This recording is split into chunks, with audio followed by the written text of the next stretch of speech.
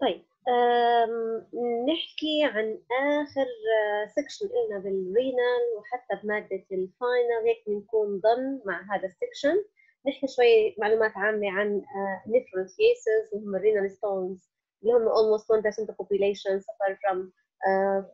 pain due to uh, renal stones. It's more common encountered in males و definitely في عنا بعض ال bodies اللي بتكون stone forming So في عنا genetic background و tendency for stone formation. The most common type of uh, renal stones uh, and their prevalence most of the components uh, of the renal stones are of calcium oxalate or calcium phosphate. Okay. The other subtypes من الستونز اللي هم اللي common هم strovate والuric acid cystine types هذول بيجي less common. So the most common هم الكالسيوم uh, oxalate, calcium phosphate uh, compounds that almost constitute around 75% of the uh, renal stones. لو نجي نحكي مين هم الناس اللي عندهم calcium oxalate or phosphate stones الغالبية العظمى تقريبا نص الحالات نحكي عمالنا إنه بيكون idiopathic hypercalciuria سواء كانت المشكلة إنه في عندنا more absorption للكالسيوم زي حالات ال milk alkali syndrome أو في عندنا renal sequestration للكالسيوم so, هذا الحكي بشكل تقريبا 50% ال 10% الباقيين هم بيكون عندهم hypercalcemia بالتالي hypercalciuria لسبب أو لآخر وبالتالي بيكون ال hyper let's say hypercalciuria حتى إنه يصير في لها development بدها nidus. هي ال nidus بالغالب بتكون في عندنا كمان concurrent uric acid زايد في ال urine يعني hyperuricosuria. That will form the nidus for the hypercalciuria subsequently stones formation. في عندنا 20% بيكون في عندهم يوريا already فهم عندهم بالتالي في risk لل calcium oxalate أو calcium phosphate وأي حدا في عنده يوريا سواء due to absorption from the intestine or primary hyperoxaluria هذا الحكي بشكل تقريبا 5% من الحالات so بكل الأحوال اللي عندهم oxaluria واللي عندهم calcemia أو hypercalciuria هم عندهم ال most common calcium oxalate أو calcium phosphate stones ال least common types من ال stones لهم بيكون آه إنه بيكون فيهم magnesium calcium phosphate nitrate هم struvite types تقريبا بشكل up to 15% of the cases. وهذول بالغالب بيجونا مع infections. بيجونا مع uh, component of UTI بالذات ال staph وال Proteus uh, infectious agents هم the most common to be encountered in this types of strovate وغالب بيكون of large size. الالكلاين urine لسبب أو لآخر برضه كمان predispose for this subtype of the stones. وبشكل عام um, in this case the uh, particulate that will subsequently predispose this stone بتكون هي بالغالب إما الكالسيوم أو الفوسفيت أو المغنيسيوم أو الأمونيوم هو اللي بيكون subsequently بيعمل لك enlargement ويكون بالآخر struvite وباغلبيه الأحيان بيكون في different components عاملين هذا النوع من ال stones في عندنا آه, around 6% of cases من الناس اللي عندهم hyperuricosuria أو في عندهم hyperuricemia due to gout due to turnover of tumors زي for example الليمفومات وال Burkitt الليمفومات اللي عندهم بيكون turnover سريع وال acidic urine عندهم بيكون uric acid subtypes من ال renal stones بضل في عندنا the least subtype هم السيستين وهي بتكون زي زي زي ال uric acid انه لما يكون في عندنا acidic urine this subtype of stone عنده predilection for formation نحكي شوي عن hydronephrosis which is by definition means انه renal pelvis وال calyces بصير فيهم dilatation من كثر ال dilatation لأنه بيكون فيهم طبعا في fluid collection اللي هو urine retention رح يكون بقلبهم this will lead to atrophy so السبب الرئيسي بده يكون شيء بده يعمل obstruction شيء بده يعمل لك back flow لل urine يضل قاعد بال pelvic system بالتالي dilatation على long run بده يصير atrophy شو الأسباب اللي ممكن تكون عاملت لنا obstruction subsequent ل hydro تتراوح هاي الشغلات من أشياء congenital لأشياء acquired أمثلة على الأشياء ال congenital ال posterior urethral valve إذا في عندنا horseshoe kidney أو renal ptosis نازلة عن مستواها الطبيعي إذا في عندنا renal torsion إذا في kinking في ال ureter إذا في عندنا atresia بال urethra إذا في عندنا aberrant ureter so كل هاي الشغلات ال congenital lead to mechanical obstruction subsequently to hydronephrosis الشغلات اللي بتكون acquired من neurogenic bladder في ال diabetes من ال pregnancy من كثر ال pressure من ال tumors من ال stones من ال inflammation again this will lead to secondary or acquired hydronephrosis تعالوا نشوف كيف بيكون ال gross appearance قديش بيكون في dilatation بال pelvicalyceal system قد عندك بيكون thinning بال cortex وهذا بيكون تحت ال microscope definitely it's kind of atrophy. بال glomeruli sclerosis بال glomeruli interstitial fibrosis tubular atrophy. هذا الشيء راح يكون موجود عندنا تحت ال microscope. So uh, إذا بنحكي عن مالنا كمان بعد خلينا نحكي ال changes اللي راح تصير بال hydronephrosis زي ما حكيت قبل شوي ال interstitial inflammation وال fibrosis would be very evident. ال glomerular damage هن بضلوا بشكل عام يعني later on let's say لحد ما تقريبا عندنا يكون في complete obstruction بصير ال damage تقريبا ب 3 weeks. وبالحالات اللي بيكون في عندنا incomplete obstruction بيكون تقريبا خلال 3 months. فهو راح يكون حسب قد إيه عندك ال degree okay it will be very serious and irreversible and it will dispose subsequently to renal failure.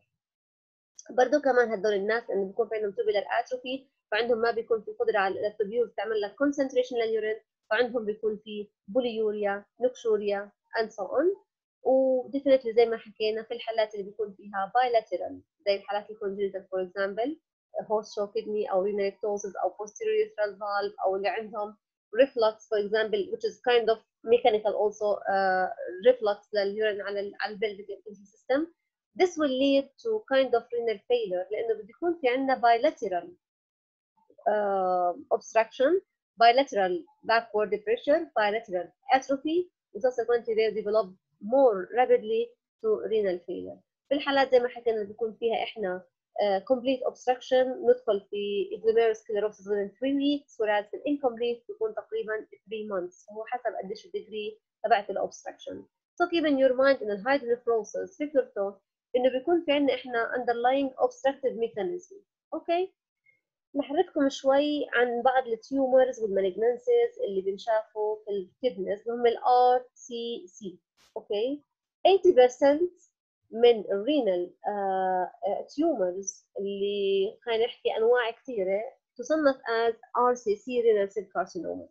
في عندك كمان other tumors زي مثلا ال sarcomas بأنواعها المختلفة ال TCC كمان اللي هي cell carcinoma اللي بتكون بال pelvis إحنا بنحكي عمالنا ان the most common هي renal cell carcinoma بتكون mainly في ال male أكثر من female في الكبار في السن 60 70 سنة. ال origin تبعهم بدهم يكون من ال renal tubular epithelium.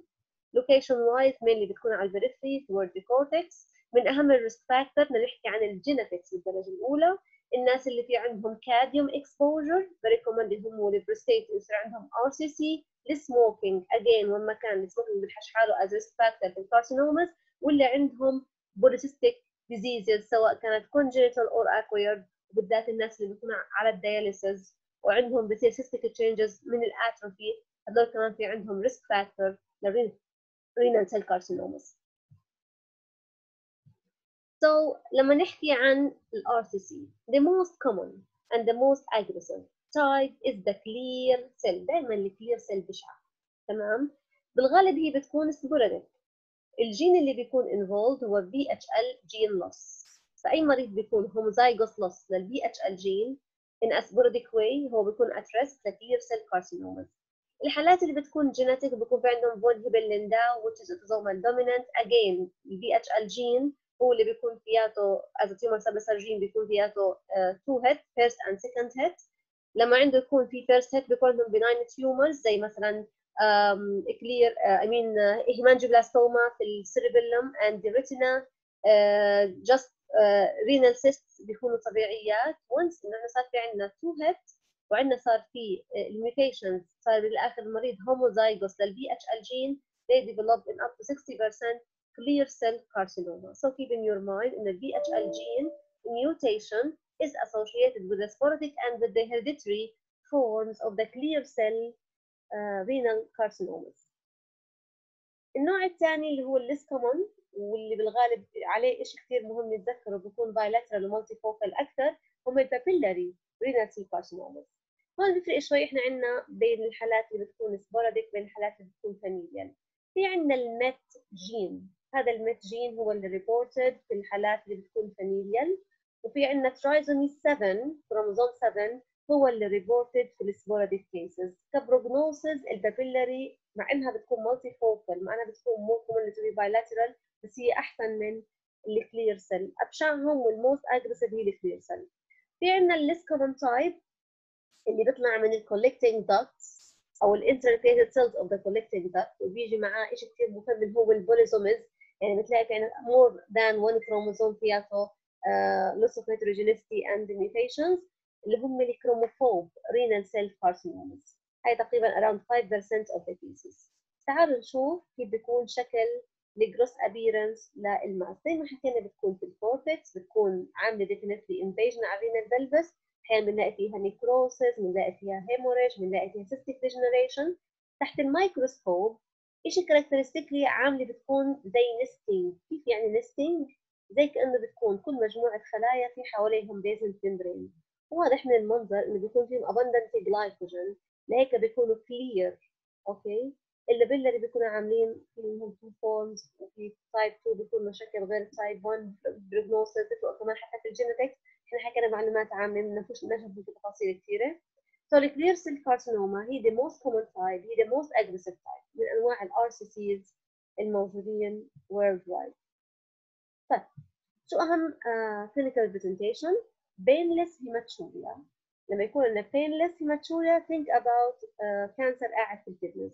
أحيانا بيكون في عندنا في mass وال mass تكون عامله pressure effect بيجيك المريض ب flank pain واحدة كمان من الشغلات المهمة ال polycythemia عشان ال erythropoietin ال productivity من هدول ال tumors ال fever kind of immune dysregulation وال antibody الموجهه against ال tumor cell بتخلي عندك الثيرموستات اللي هو ال hypothalamus upregulation وممكن يجينا ال patient ب fever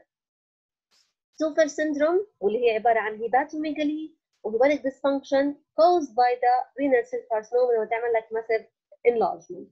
وفي عندنا كمان some uh, productivity for some peptides say for example ال ACTH ممكن يجينا بال Cushing syndrome ممكن يجينا في hypercalcemia. وإذا جانا في metastasis اللي most اللي بتروح على ال bone وعلى ال lung ممكن يجيك المريض ب advanced stage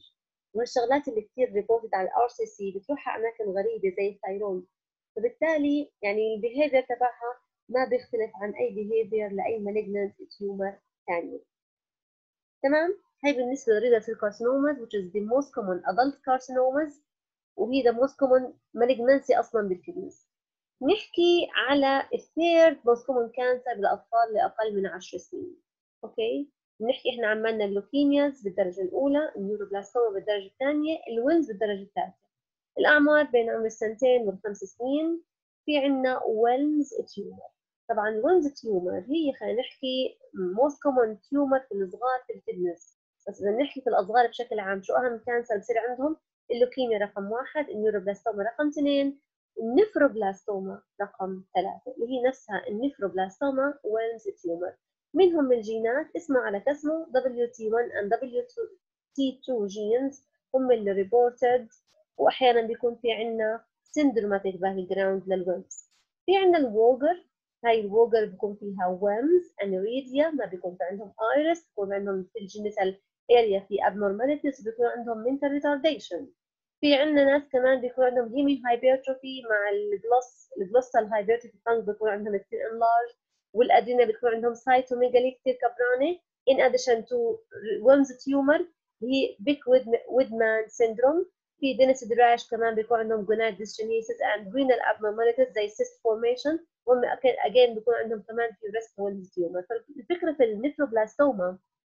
إنه هي ممكن تكون جاي مع syndrome زي Denys-Drash زي ال WAGR زي ال Beckwith-Wiedemann syndrome هذول الشغلات المهمين في ال Wilms tumor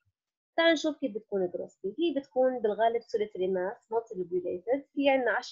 من الحالات بتكون أحيانا multicentric وحتى أحيانا بتكون bilateral كثير من الأحيان. بيكون فيها cyst degeneration necrosis fibrosis hemorrhage ما بتفرق بالضبط عن ال gross تبعت ال RCC بس keep in your mind إحنا بنحكي عن مالنا من سنتين لخمس سنين ال age group okay تحت الميكروسكوب هي اللي بسموها nephroblastoma it is composed it is mainly triphasic. ما بتكون عبارة عن just one component في ال histology بيكون في عندنا epithelial component stromal component and blastomal component. وإحنا طبعا في الهيستوباثولوجي بيكون كثير بهمنا نعرف انه هو الموست predominated يعني لما يكون blastomal component this will harbor poor prognosis لما تكون epithelial type أو تكون mixed type بالغالب بتكون of good prognosis. So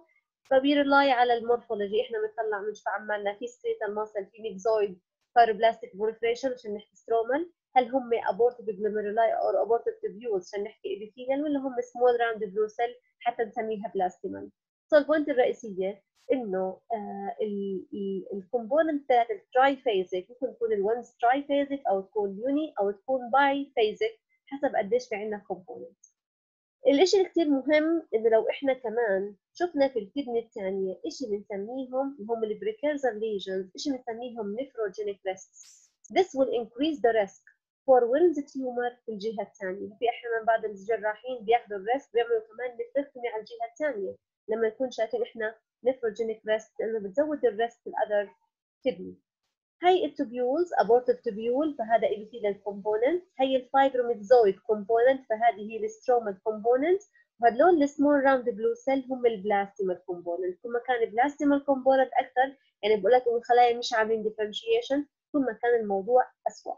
ك prognosis. تمام؟ نحكي clinically كيف بيكون عندنا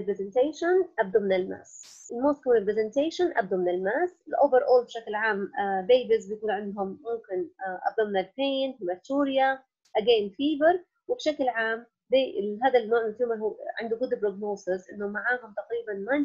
90% in 2 year survival rate. So مع ال surgery مع ال chemotherapy they do well. Do well وما بيكون عندهم أي recurrences uh, lifelong. طبعا unless ان هي كانت أصلا ruptured أو عاملة من day one metastasis. okay نحكي عن ال tumors اللي بتكون ال origin تبعها من ال bladder من ال urethra من ال ureter اللي خلينا نحكي ال sequence تبعها بتكون من ال lower. okay هلأ ال point إنه آه ال transitional epithelium هو ال origin في عندنا variable tumors من papilloma ل carcinoma okay؟ والمشكلة هاي الشعرة البسيطة في التشخيص بتغلب كثير ال pathologist هلا لما أشرح شوي أنا عليهم. في عندنا papillary carcinoma في papilloma في invasive papillary carcinoma في flat non invasive في flat invasive so إحنا لما نكون عمالنا بنطلع على biopsy من ال bladder صراحة نتكركب لأنه إحنا في كثير أحيانا ما بنقدر نميز من ال histopathology لحالها. إحنا نصنف هاي ال tumors لإيش؟ فهيك في عندنا حالات بنسميها PUNLMP شو هو ال PUNLMP papillary urothelial lesion of undetermined significance. أنا مش عارفة أحط لك اياها حميده ولا خبيثة. تبع أمور المريض وال follow up بقول لك كيف رح يكون توجهنا. تعال نشوف ال papilloma من اسمها papilloma this means إنها بيكون finger like projections. mainly رح يكون في عندنا خلينا نحكي frond like structure. حجمها بدها كثير توصل 1 سم ال lining تبعها بيكون single layer أو اذا حتكون يعني مش راح يكون كثير stratified راح يكون very simple transitional epithelium طبعا بالغالب بيكونوا solitary without any invasion for the underlying urothelium وبالغالب once excised they do never reoccur okay ال TCC أو اللي هي transitional cell carcinoma أو اللي هي urothelial cell carcinoma الاسم الثاني هاي من ناحية gross appearance وحتى كمان في الهيستولوجي لا بنقسمها إلى flat اللي هي بتكون papillary flat أو بتكون invasive non invasive طبعا إحنا كانوا زمان يعملوا grading هذا ال grading اللي عندكم زمان قديم 1 2 3 والكتب لهلأ بيعتمدوه بس ال NSI اللي هم ال national سايوب group تاعون ال urothelial tumors عملوا بالآخر شافوا فيه إنه grade 2 ملوش داعي. فضموا له grade 1 يعني بيهمنيش أنا بالاخر تحكي لي grade 1 grade 2 نفس ال treatment نفس ال management نفس ال prognosis صار بالاخر يحكوا إنه grade 1 و grade 2 خلينا نحكي نحطهم ب low grade و high grade فبطل حدا حاليا يقول لك transitional cell carcinoma grade 1 أو grade 2 أو grade 3 صرنا نحكي تي سي سي لو جريد تي سي سي هاي جريد تمام؟ وإحنا على هوا قديش فايته هي بال layers إذا هي in situ مش مخترقه ال basement membrane دخلت ال submucosa صارت stage 1 A بال muscle stage 2 وبعد هيك عندك لل outer layers تصير stage 3 فإحنا حسب قديش فايته ال thickness بنعمل staging هاي بعض الرسمات عشان نفهم مع بعض كيف عند TCC papillary من ناحية شكل papillary projection وهيها عاملة invasive فهي بسميها invasive papillary carcinoma هاي non invasive و flat. هاي flat و invasive فبالتالي إحنا في ال discrimination زي ما حكينا ال gross appearance ال scope لما الدكتور بيحكي لك إنه there is a papillary growth there is a flat growth there is invasive there is هذا الحكي كله من خلال المنظار. راح يبين مع الدكتور اللي عم يعمل للمريض منظار okay؟ كيف راح يكون عندنا منظر ال carcinoma فعليا بتكون هي most مونيتوري papillary papillary fronds يعني عامل finger like projection تحت الميكروسكوب راح نلاقي urothelium of high grade dysplasia راحت ال polarity زاد في ال mitosis ال mitosis لازم يكون موجود basal راح نصير نلاقيه high up هنا طبقة ال umbrella هي الطبقة الأخيرة اللي بتكون على ال outer layer will be lost in the neoplastic epithelium. So فهي papillary projections عامل اللي بتكون